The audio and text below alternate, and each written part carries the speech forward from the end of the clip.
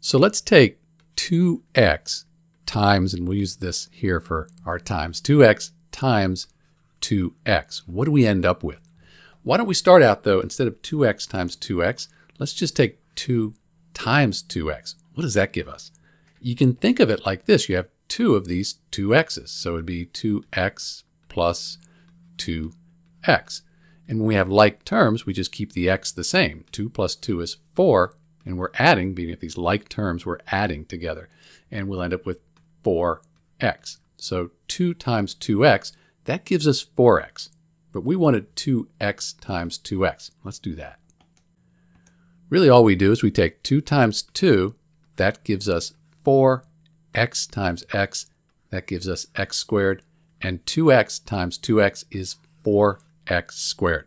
And that's really all there's to it, because here we're multiplying. So 2 times 2 is 4, x times x is x squared.